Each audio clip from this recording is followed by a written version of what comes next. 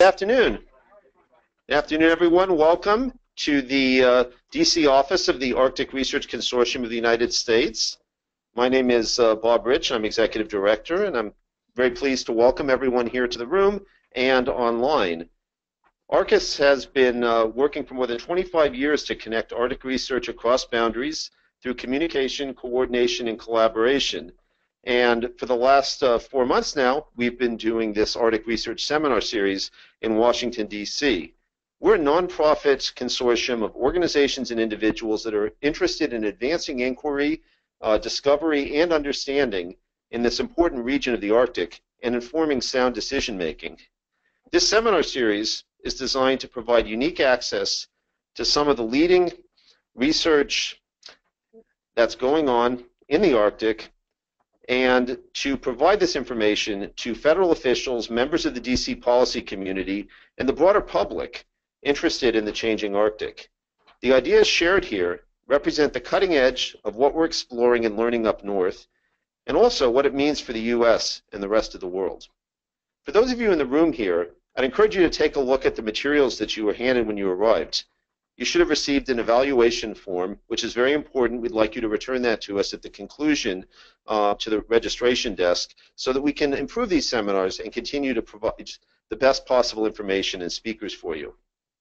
Also take a look at the information about ARCUS and the uh, services that we offer to the research community and membership. We would love to invite you to become a member um, all organizations of all different types are able to become members, uh, agencies, uh, academic institutions, corporations, um, nonprofits, and individuals can also become members of ARCUS as well. So hopefully you will take advantage of that opportunity. I'm happy to sign you up here, or you can sign up on our website at www.arcus.org. We're currently joined by uh, 123 registrants online from throughout the United States and other countries. And just a short uh, look through the list, uh, I saw that we have people joining us from Canada, Denmark, Germany, Greenland, Hong Kong, Iceland, Russia, Sweden, and in addition to the uh, oh, 20 or so people here in DC. So for those of you on the webinar, my colleagues are available to answer any questions you have about ARCUS or about the seminar. Um, so you and they, they will uh, forward them to me here in DC, so we'll be able to ask them at the conclusion of the presentation. You'll have the opportunity to submit the text questions, and the way you do that is by typing your questions into the question pane on the right-hand side of your screen. Um, and then those questions will, will come to the moderators and we'll be able to ask them at the conclusion. You can send your questions at any time during the presentation and we'll collect them at that point. Whether you're here or online, we invite each of you to become an ARCUS member. So welcome to do that. And I'd also like to acknowledge our partners in the uh, seminar series. The Consortium for Ocean Leadership, which is uh, the organization that enables us to use this wonderful meeting space. Thank you also to the uh, Polar Research Board of the National Academies of Science, Engineering, and Medicine for their assistance with planning and registration. And of course, I want to thank the National Science Foundation Division of Polar Programs for major financial support to Arcus and everything we do, including this seminar series. So now, without further ado, let me introduce our speaker. Dr. Ted Schuur is professor recently relocated to the Center for Ecosystem Science and Society at the Department of Biological Sciences at Northern Arizona University. He's done more than a decade and a half of field research in boreal and Arctic ecosystems and has more than 100 peer-reviewed publications in high-profile journals such as Science, Nature, and the Proceedings of the National Academy of Sciences, as well as numerous book chapters, reports, and published abstracts in the Proceedings of Scientific Meetings. He leads, uh, has led dozens of grant proposals worth millions of dollars in support of this research and has won many awards, which I'm not going to go into all of them, but I would just uh, point out the uh, new investigator awards from NASA, the Andrew W. Mellon Foundation, and the National Science Foundation. And he's a, a Leopold Leadership Fellow um, and is now an advisory board member of that program. Ted uh, is a native of Michigan and graduated magna cum laude uh, from the University of Michigan. He received a PhD from the University of California, Berkeley, and a, a National Science Foundation postdoctoral fellowship at the University of California, Irvine, before arriving at the University of Florida in 2002, where he reached full professor and remained into 2014. Ted's presentation today will be on the topic of regional and global implications of changing permafrost. Please join me in welcoming to the ARCUS DC seminar series, Dr. Ted Schuur.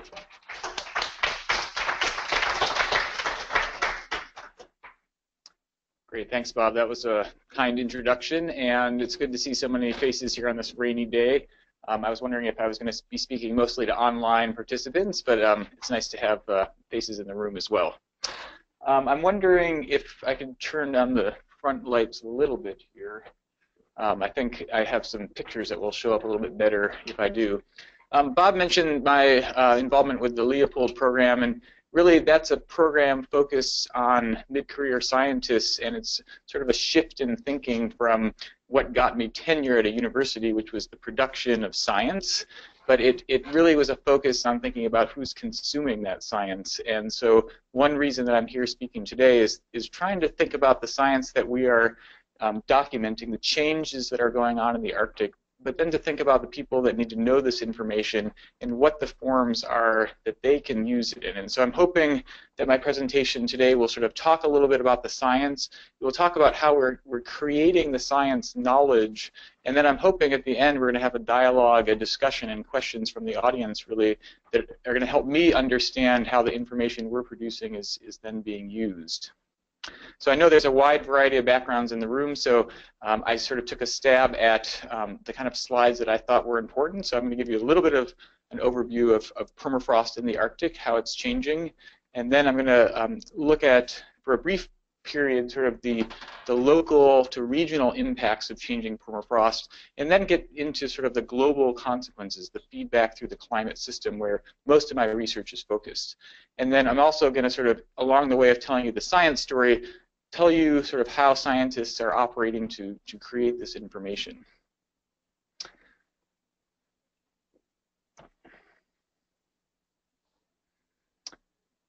Um, I'm representing um, both as a faculty member of Northern Arizona University, but I'm also the action team lead for um, permafrost for the study of environmental Arctic change program. And so I wanted to use that as sort of a starting point thinking about the work that I'm going to talk to you about today.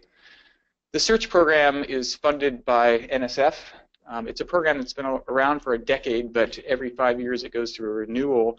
And in the renewal that just got funded last year, um, there's sort of a new reframing of this. So it both funds the networking opportunities of ARCUS, but it's also um, now funding what's called these action teams. And you can see there's three action teams here, the sea ice, the land ice, and the permafrost, which is the one that I led. And it's an attempt to kind of link um, science into sort of the networking that's going on within the search program.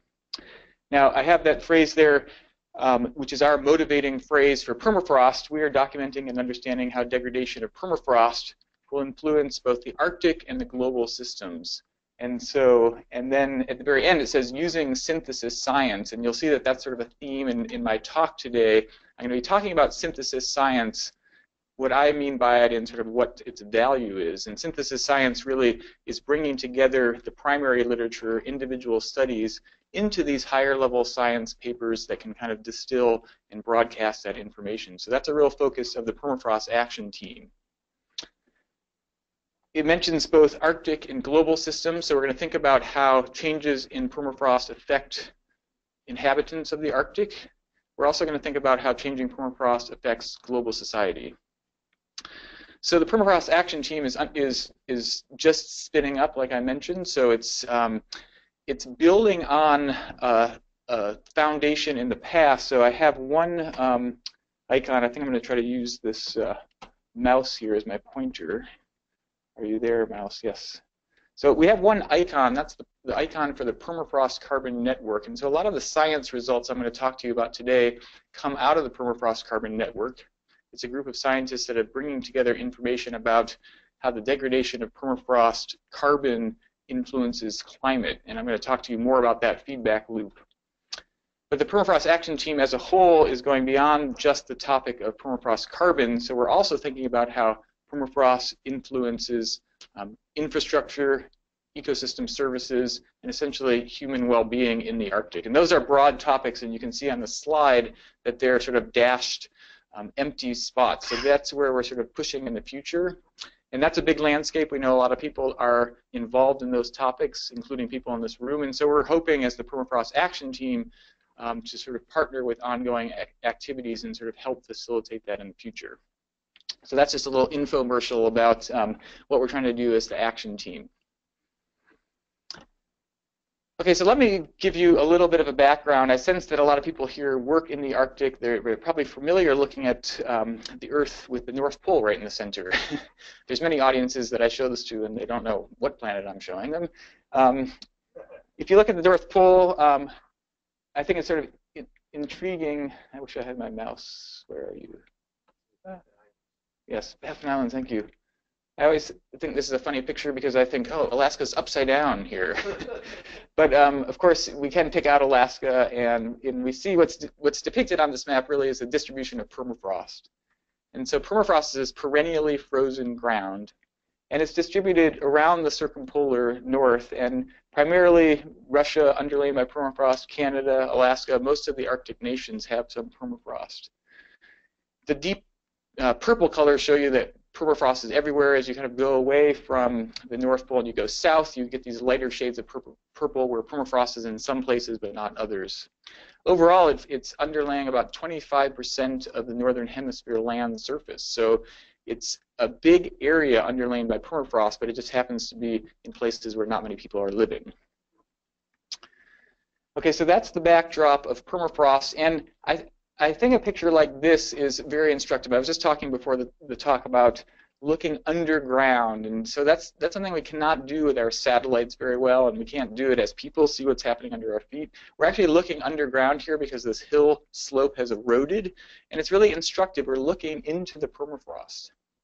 Now, if I could have you guys walk out of the seminar learning one thing, it would be the title of this slide. permafrost thaws, it doesn't melt. You know, you have to think about it this way. So if you go home and you want to make dinner, you pull a hamburger out of the freezer and you put it on the counter, and you're waiting for that hamburger to thaw before you cook it. You're not waiting for it to melt. And the same is true with permafrost ground. Most of it is solid material. There's rock, there's sediment, there's soil. There is ice in the ground, but overall, permafrost scientists prefer this term. So that's the sort of take-home message um, for you to learn today. There's a, some other features that you can see in this picture. At the very surface, there's something called the active layer because it's warm in the Arctic in the summer. So the, the surface of the soil actually thaws in the summer and then refreezes in the winter. So technically, that's not permafrost. It's part of the active layer because it's not perennially frozen. That layer is about uh, 20 to 50 centimeters thick, and then, like I said, it's frozen in the winter. Below that, you can see both um, frozen soil and um, I always have to find my mouse. There it is. These sort of whitish things are big blocks of ice. So this is particularly ice-rich permafrost. So the ice in the ground could melt, but as the permafrost thaws, and then interspersed is this soil, this frozen soil that's filled with organic carbon. So it's the remains of plants and animals that have been stored for hundreds or thousands of years in this ecosystem. So this has been frozen since the last ice age. So these are all important characters that we're going to kind of return back to in our discussion of permafrost. Okay, so the reason we're here, of course, is the whole globe is warming, but the Arctic is warming about twice as fast.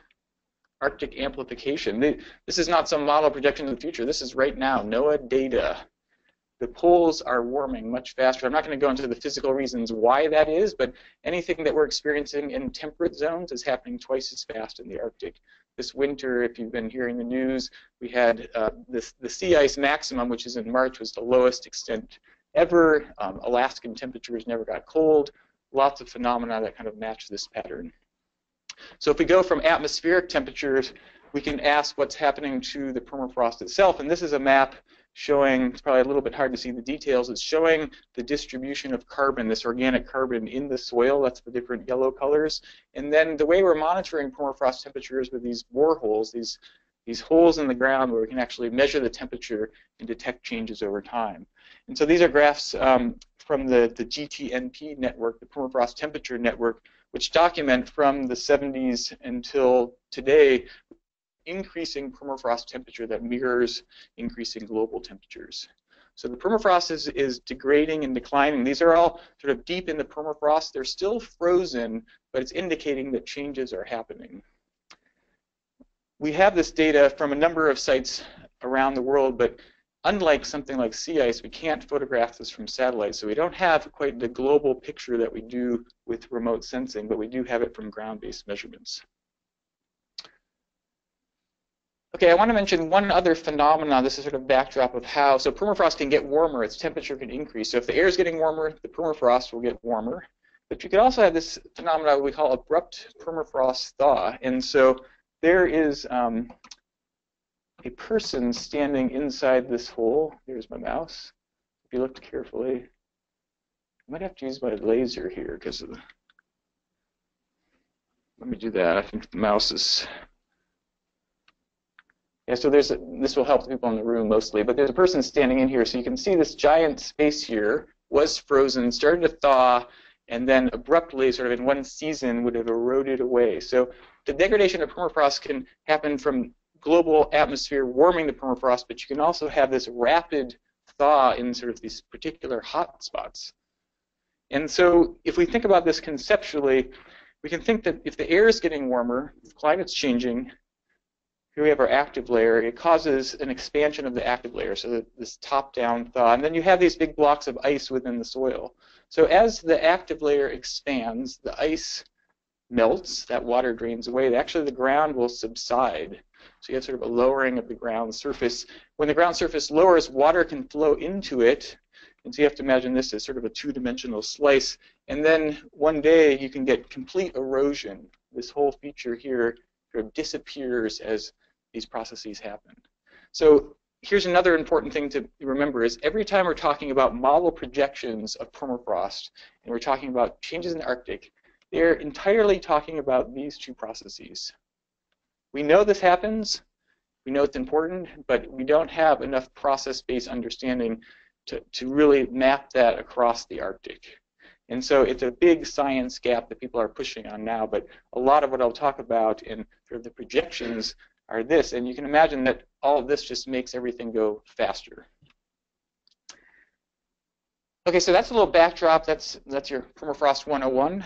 Um, why do people in the Arctic care? If you think about that permafrost ground, if you take away the ice that's in there and the ground is subsiding, that's affecting human infrastructure. So most of the people that are there, if your building is put on permafrost, you start to destabilize. And some of that um, destabilization happens even when the permafrost is still frozen.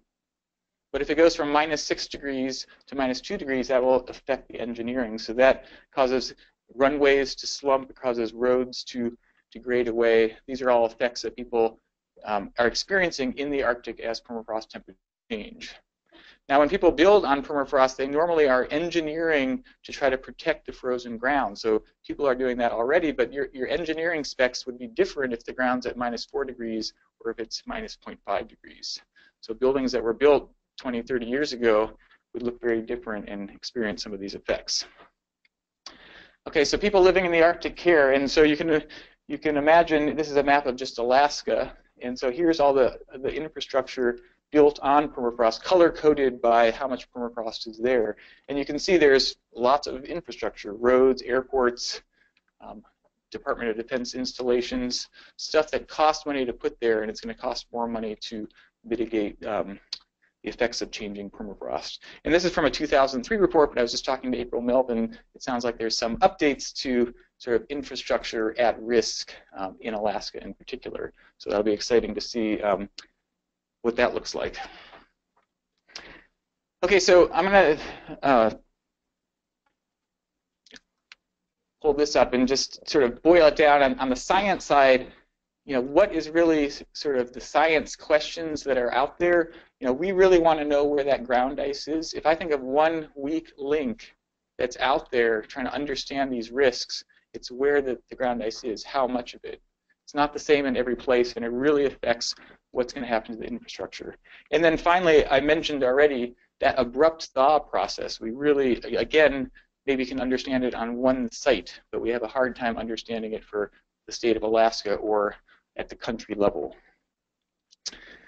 Okay, so um, I have I have some disclosure with the last bit of information, which is I own a cabin in Fairbanks, Alaska. It's built on permafrost, and that permafrost is degrading. And so every summer I go up there and have to re-level my cabin because it's like sinking in the back um, as compared to the front. So you know that's great for me. I really want to study this stuff, but why should people around the whole world care about changing permafrost? And the reason for that is that what happens in the Arctic is not just staying in the Arctic. And so sort of the bottom line message of the global implications of changing permafrost is that climate change, which we know is happening, might happen much faster than we think because of changing permafrost. Now, the reason for that, again, is not for the ice in the soil, but it has to do with that organic carbon that's stored frozen. And we get this kind of feedback cycle that's triggered by changing greenhouse gases. So we know that human greenhouse gases are causing things to warm.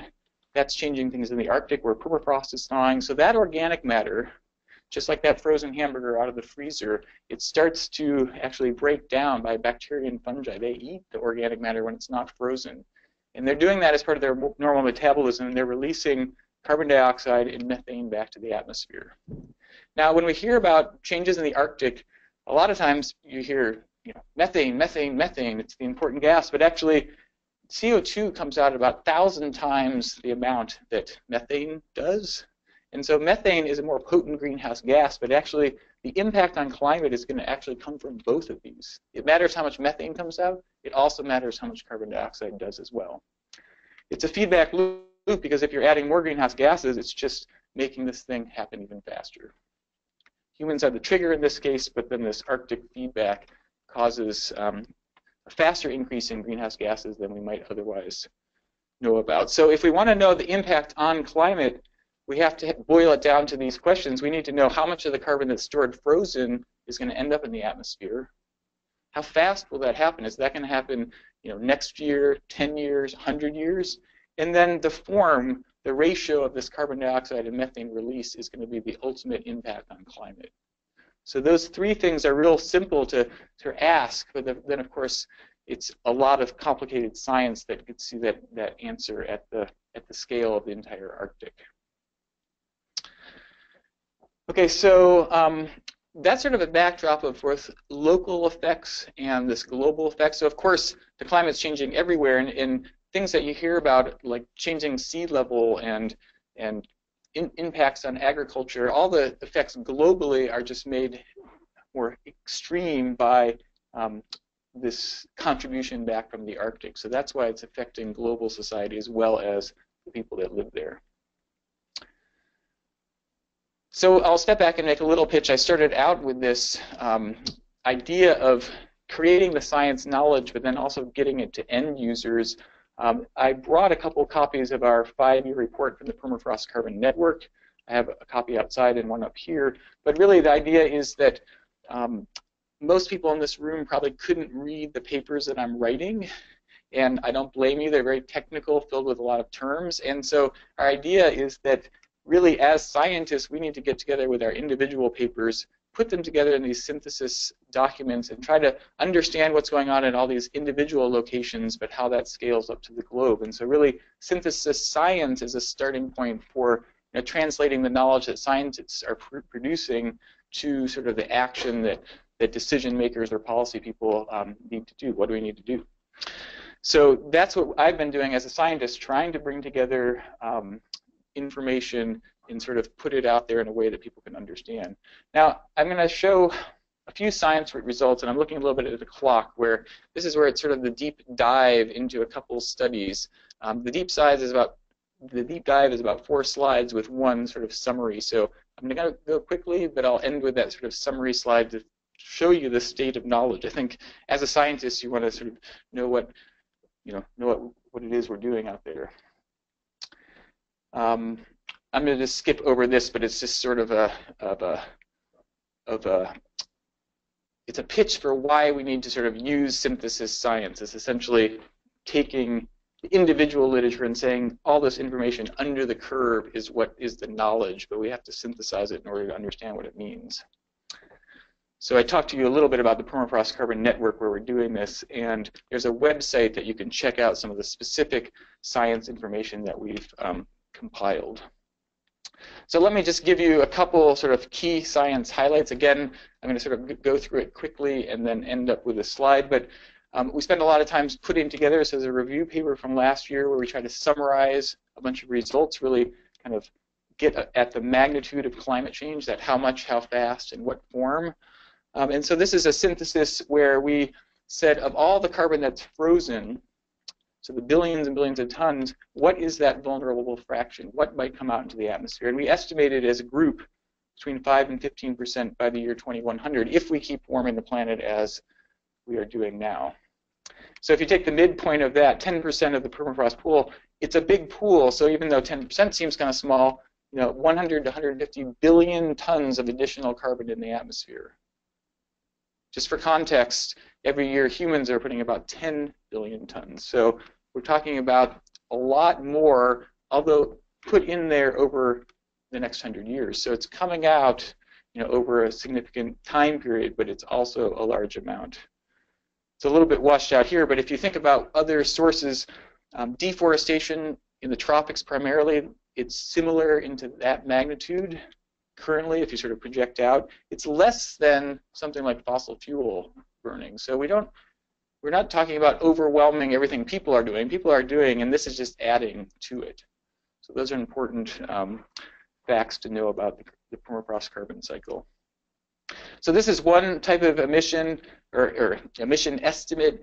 Um, we sort of attack this problem from many different ways. There's not just one way to come up with this number, and so we've used um, quantitative models. I would say that estimate I was just showing you is sort of a semi-quantitative synthesis.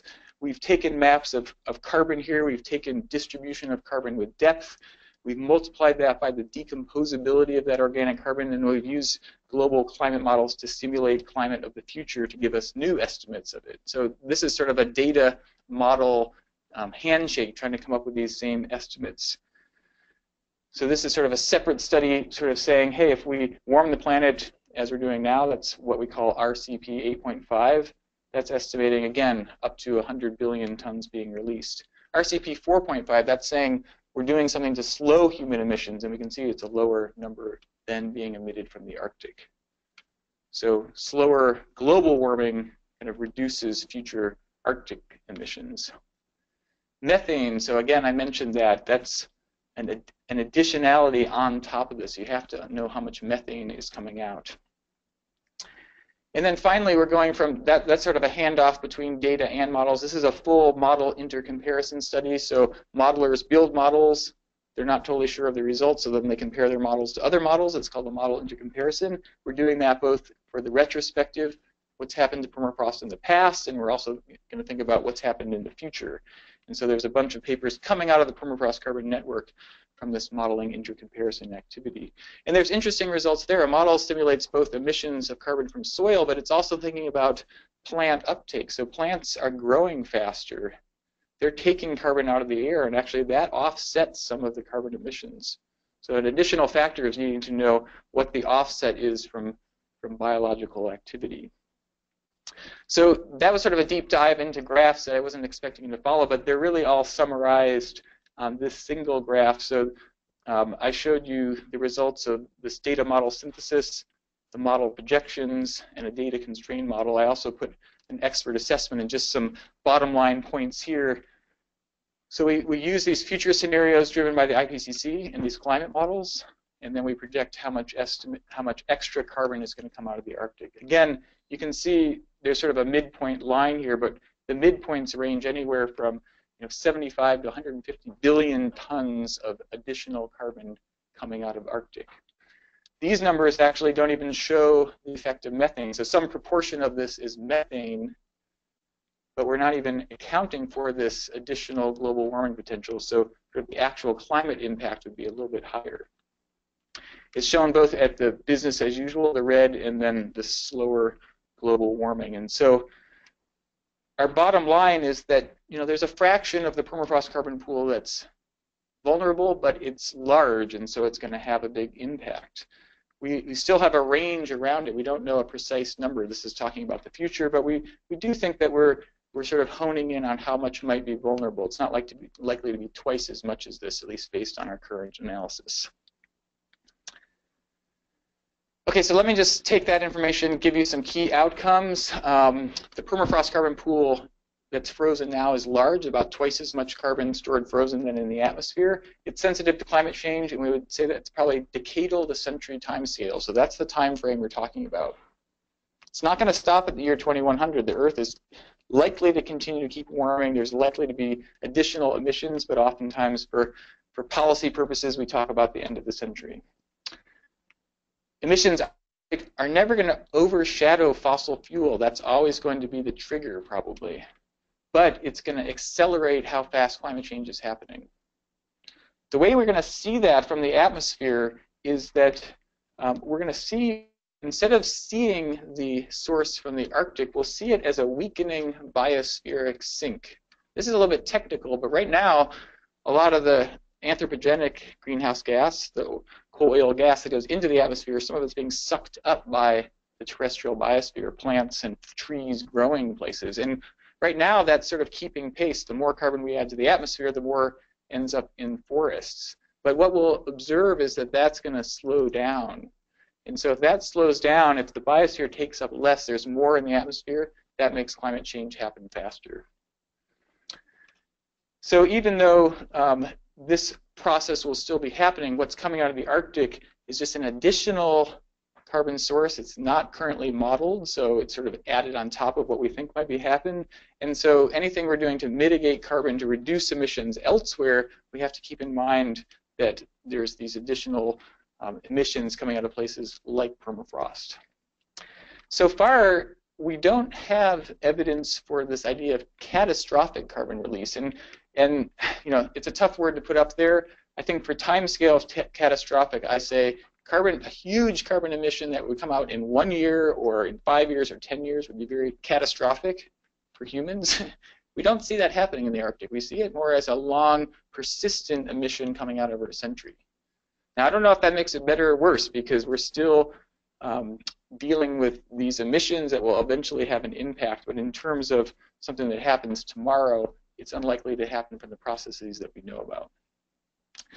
I'm going to show one picture now. Now that I told you that last point, let me show you this picture from Siberia. This picture is a giant hole in the ground. You might have seen it in newspapers. It's about 50 meters across, 50, and it, it goes deep. It's like a big cavern, and, and there's not a lot of sort of peer-reviewed science literature on it, but, but Russian scientists put down you know, sensors and said there was elevated methane in there. And, and what fascinates me as someone that goes to the Arctic a lot and, and looks at what's happening is that I've never seen um, anything quite like this. And partly the reason is I told you about ice in the ground and the ground sort of subsiding in. And so when you see that um, stuff on the top kind of is falling into a hole, here actually material got um, moved out of the hole. There's sort of an ejection. You can imagine you know, this whole kind of bursting. I, I, sometimes wonder, is this a big sort of bubble, perhaps of methane or gas, trapped by permafrost? As the permafrost is thinning, it, it releases. And I'm not saying that this has sort of global significance, but the reason why it's so important is if if me or, or any of my colleagues are not familiar with seeing anything like this, it means that there are things in the Arctic that we don't know about yet.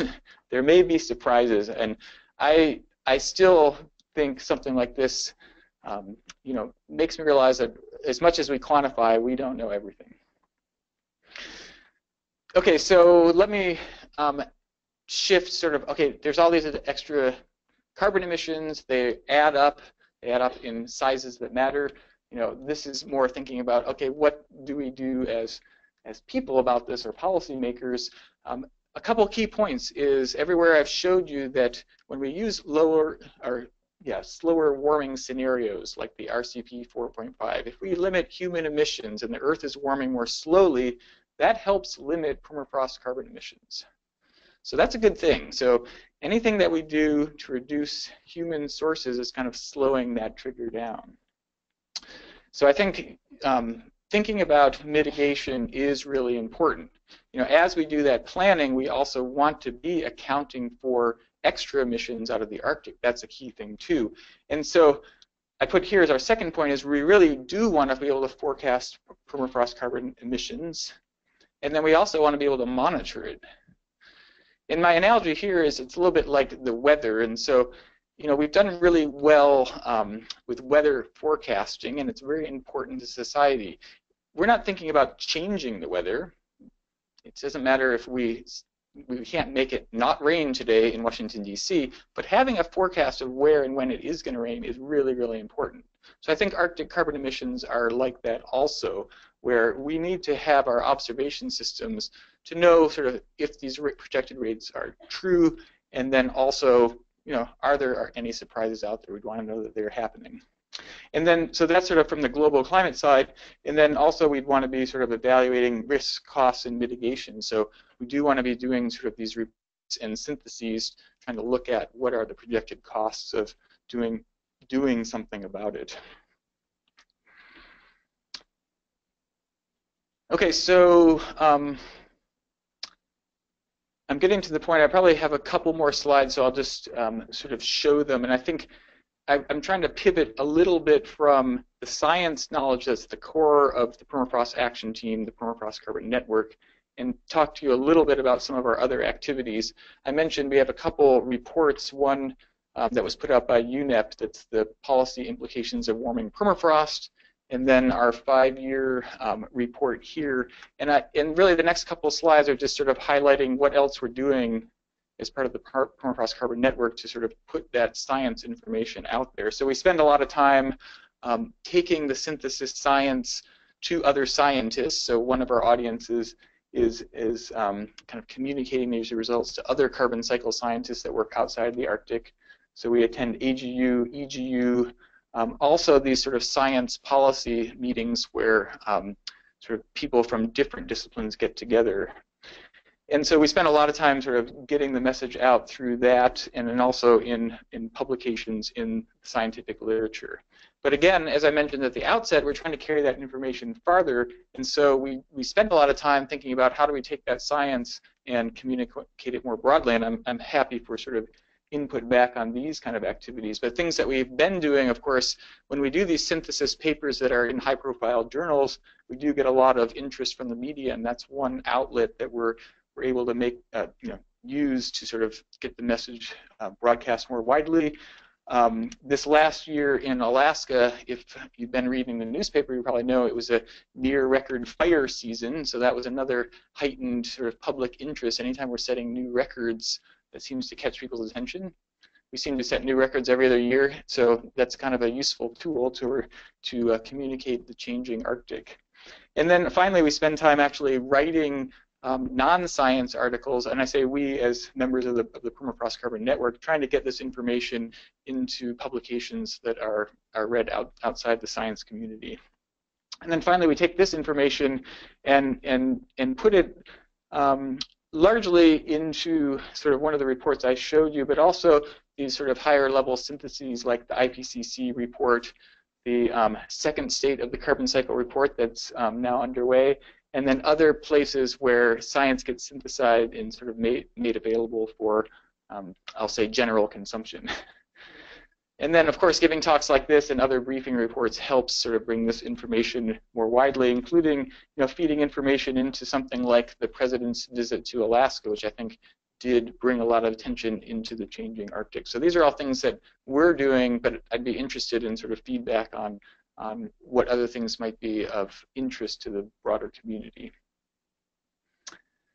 Um, I want to end in one minute, and I'll just show you where we're going next because I think that that's important. So the Permafrost Carbon Network is continuing to put out new synthesis articles, and then um, we've been we've been really generating the science synthesis out of these workshops. We have one upcoming in Germany where we do a lot of international outreach at a permafrost meeting. And then we have a number of um, what we think are key next generation science synthesis products. There's a lot of interest on this, but sometimes the science isn't as strong as you might hope. So I mentioned already the, the permafrost carbon model intercomparison. We're doing those future projections.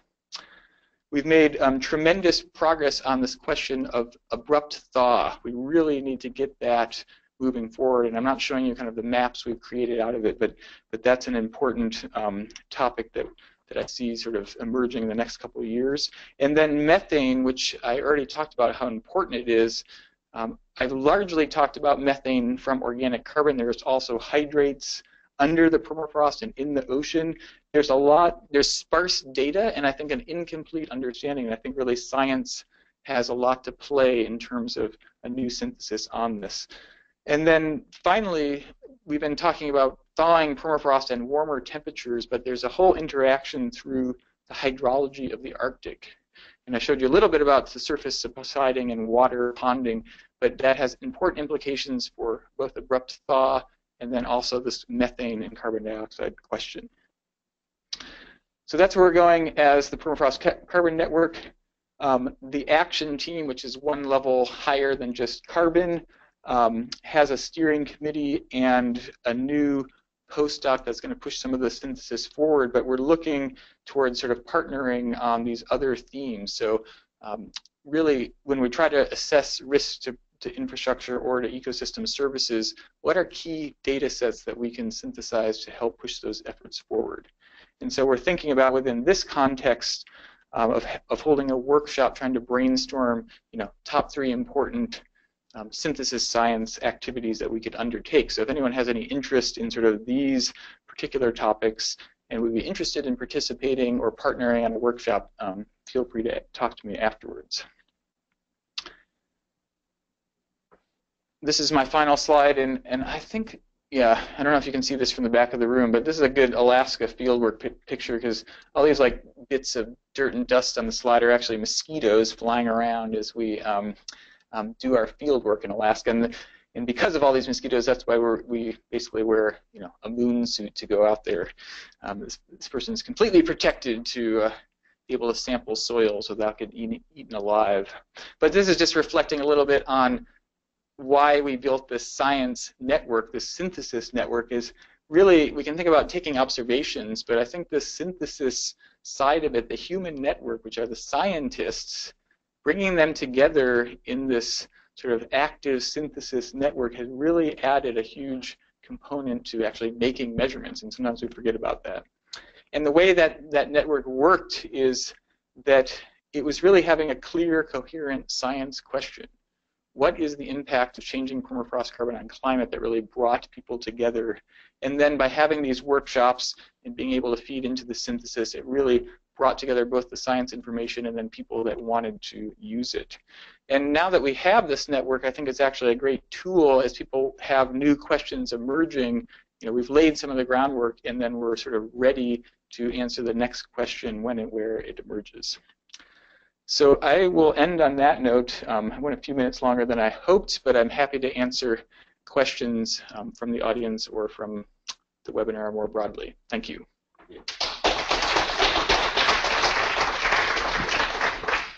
Thank you very much, Ted. So, um, who has questions? Uh, Rafe.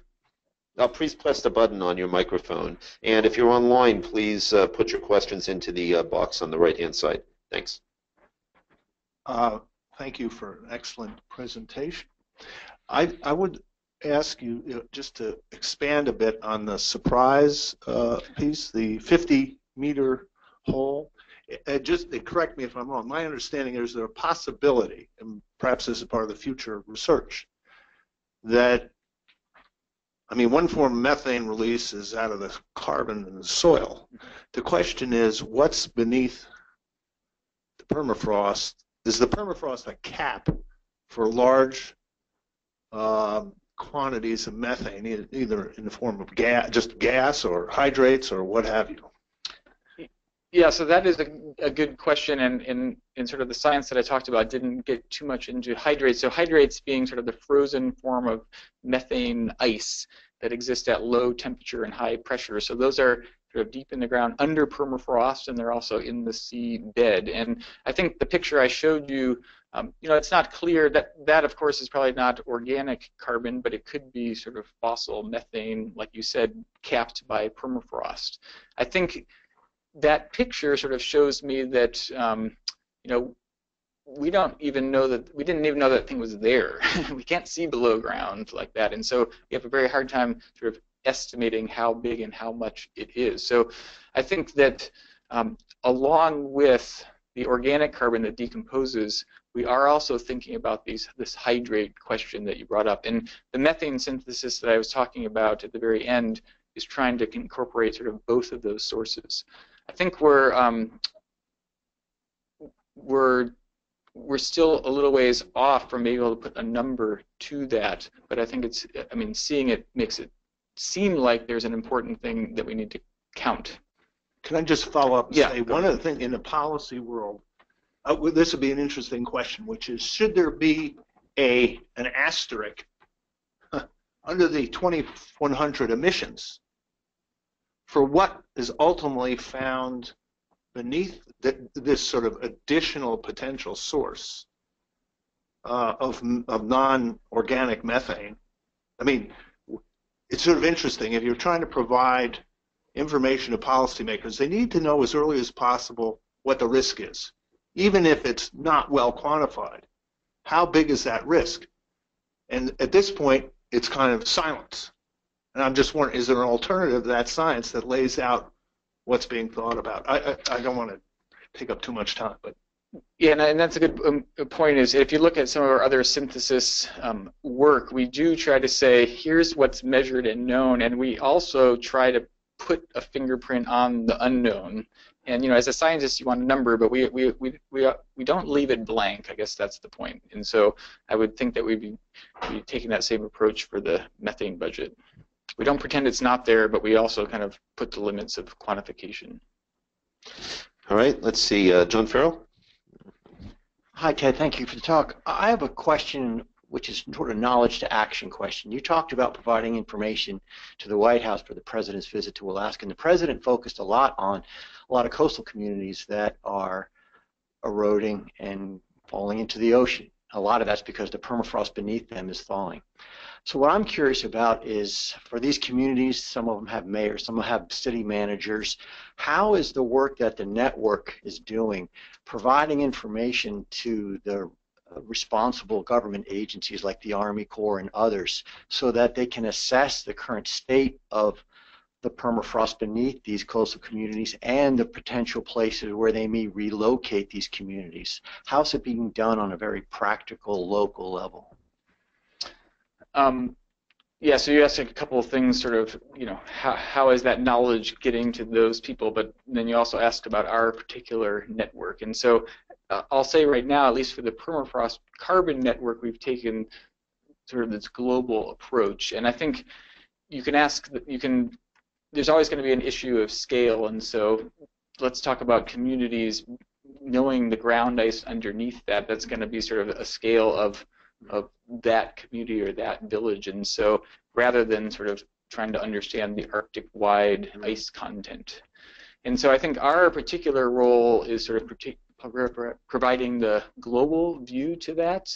But I mean, there are agencies and um, and people that can provide sort of local information. So I think when we're talking about infrastructure, yeah, we're going to be talking about making measurements, you know, at that site because we want to know if that airport or that house is under risk. So there's kind of two levels of science knowledge that are going on. We're, I, I do think in a higher level synthesis you can take information from places and build it up, but then you can't always sort of go from a global picture and say, okay, that community is going to um, you know, have this risk based on its on its zone of permafrost. Right now, that's probably how it's happening.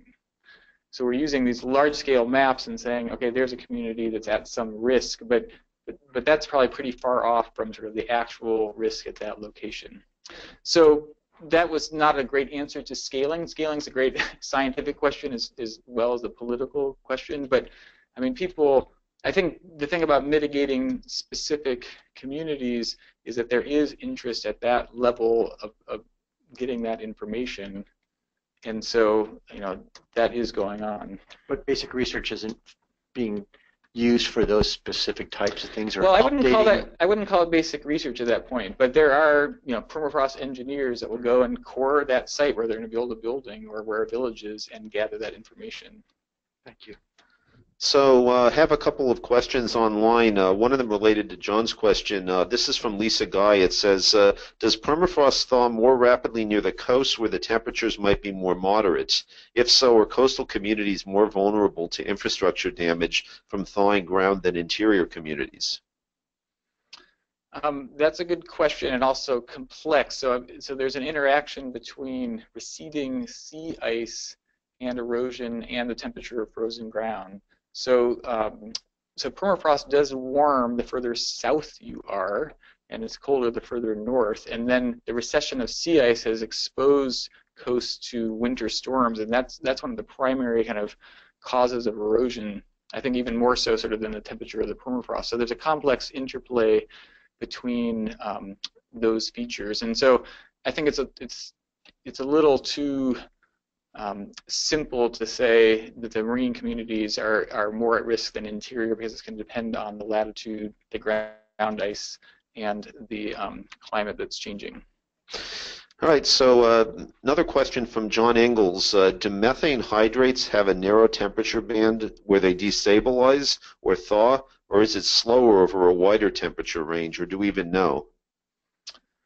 Um, there is a temperature range that allows them to persist, so at low temperatures and, and high pressures. I think the the one thing about hydrates that's helpful is that that is deep in the ground, underneath the permafrost or underneath the ocean. And so, if you think about changes that are happening in the atmosphere, those are those conceivably take longer to propagate that deep.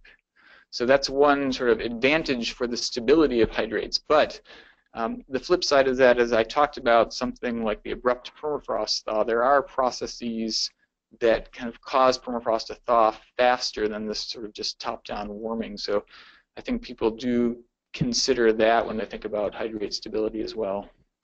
Thanks. Um, in the room, I think, uh, go ahead. Uh, press the button on your mic so we can uh, hear you online. Okay, thanks. I'm Laura Geller with the Polar Research Board. Um, I guess I'm sort of going back to the, the line of questioning that, the Rafe had about um, sort of what, what the policymakers ultimately need. So when I think about you know the, the type of policymakers who are involved in the in the international UNFCCC negotiations, you know, obviously, I think at this point they're well aware of this issue as, as part of the picture. I think you all have done a very good job in your communications to, to help ensure that happens but it's not really factored in in a quantitative way to their to their planning. And I'm just trying to think, you know, what ultimately, in a perfect world, if we had all the information we needed, what sort of, you know, metrics would we be aiming for? Um, you know, I, I ultimately would we be trying to get it, you know, on a country by country basis, trying to quantify the potential sources from, from permafrost carbon so that can be counted in the, you know, the country level accounting for sources and sinks.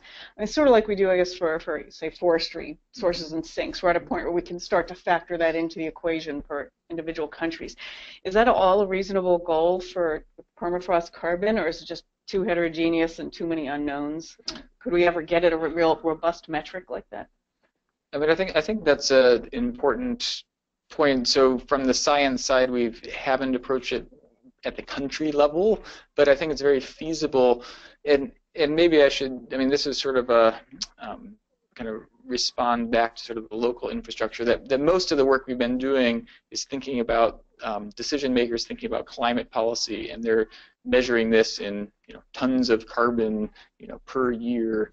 And so we sort of scale that at the global scale to talk about its importance, but the maps are regional and country level. So you could imagine going towards that um, kind of framework that's used for yeah, land use, land cover change. I think it's very plausible um, and, and sort of it's very extractable from the current syntheses that we have. So uh, I have a couple more online here. Um, so this is about uh, fires, and the question is uh, from uh, Ed Struzik. Uh, is it possible to quantify how future fires, both uh, forest and tundra fires, will have um, the effect on permafrost thaw? Yeah, so fires, that's a good question, and I, I sort of mentioned a little bit the fire season, but didn't talk about fire as a process. And and so the answer is yes. So people are forecasting and projecting fire spread. And the reason why it's important to permafrost is that the surface um, soil actually insulates the permafrost, and so a fire can burn that, and then it sort of accelerates the rate of permafrost change. And so um, there are so fire is sort of an important mechanism that makes everything go faster, and and the current projections are for fire. Um, both frequency and area to sort of expand for a while as vegetation changes. So fire is a, an important point of the part of this that I didn't sort of talk about explicitly, but we do factor it into thinking about how fast things might change. So uh, here's a question from Norman Bliss. Uh, is the uh, tipping point concept useful for thinking about Arctic permafrost carbon release? And if so, have we reached the tipping point? Um, I was having a conversation about tipping point last night, and I think um, it's a tricky word because it, it it has a time scale.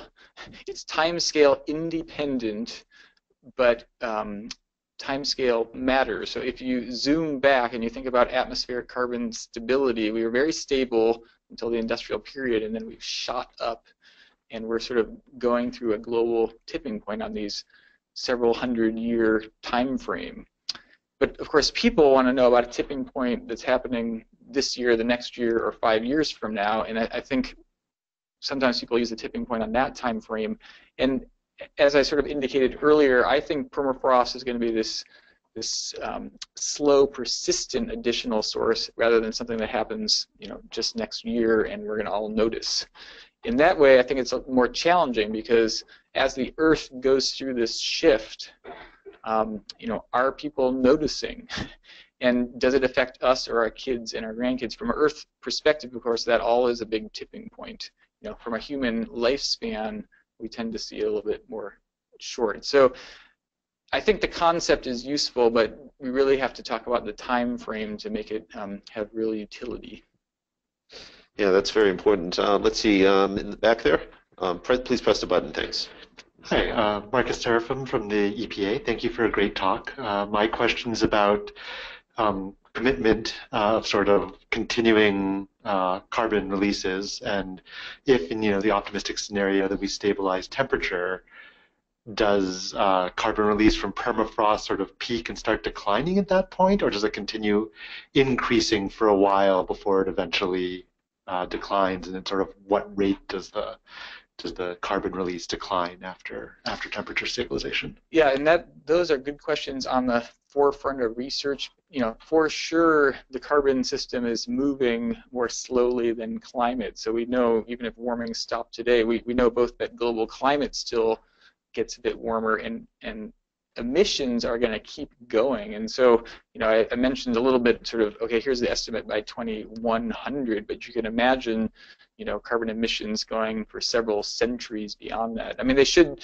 if you come to a new steady state on global temperature, yes, you'll, you'll taper your emissions, but it will take decades to centuries. And maybe that goes back to Norm Bliss's question about, you know, is this irreversible or you know, how can you stop it? And for sure, there's a lot of momentum in this system. So the changes that we see now are going to persist for decades and longer, even if we stopped everything.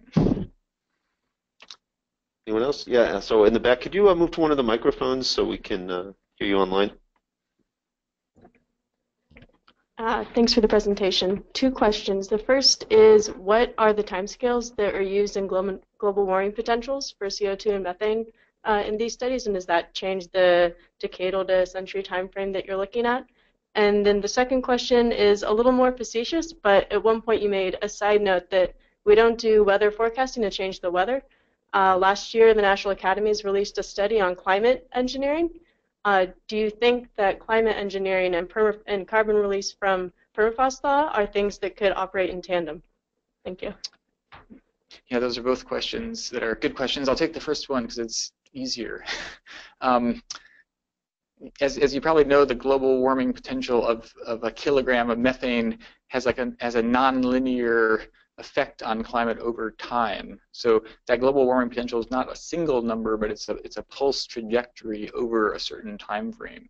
So we account for that um, in sort of our calculations. So the, the longer you look out, the less of effect methane has as it's converted to CO2. And so we, we use those trajectories when we sort of base our estimates on that. And then the second question, and you're right, maybe the weather forecasting and climate change are not um, exact parallels because you know we do think that if we reduce human emissions, we influence the pace of cli- climate change, and that's a different analogy than weather, where we really want to forecast it, but we're not necessarily trying to alter its trajectory. So I think in a system, maybe what I meant about the Arctic is I don't think going to the Arctic and directly trying to stop emissions there um, has much meaning because it's sort of non-point source pollution, as it were. But but understanding the emissions and kind of both observing them and forecasting will help us understand how much is coming out, and that will inform our our uh, mitigation actions elsewhere. So I think I have uh, maybe time for one or two more. Um, the question online here is from Giselle Bramwell. It says, uh, "What impact will increased rainfall and snowfall in the Arctic have on permafrost thaw?" Yeah, those are good questions.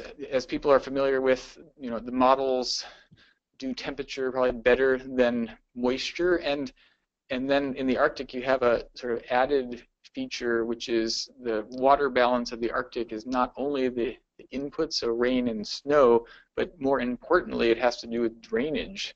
So there's forests in interior Alaska, even though it gets 300 millimeters of rain per year, which we would consider sort of a desert ecosystem, and primarily that's because water cannot penetrate the permafrost. So water sits at the surface and fuels the growth of forests. So almost more importantly than how much rain or snow, and, in the, the climate models do project in a warmer world you'll have more precipitation because warmer air holds more moisture, so you'll have more precipitation in the north.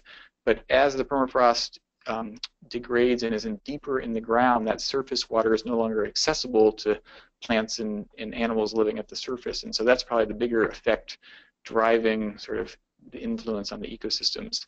It's really hard to understand and project how that will look in the future, but um, we're trying to get there.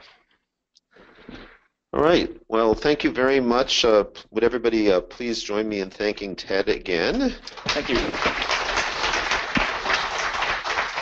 I wanted to uh, point out a couple of additional resources. One of our partners in today's event, the Arctic Institute, has a, a, very nice website that talks about various permafrost issues. I encourage you to check that out. Um, also, uh, for more information about ARCUS, you can check out our website as well at arcus.org. Um, and thank you all for coming out. I should mention our next seminar is going to be featuring uh, um, Mark Brzezinski, who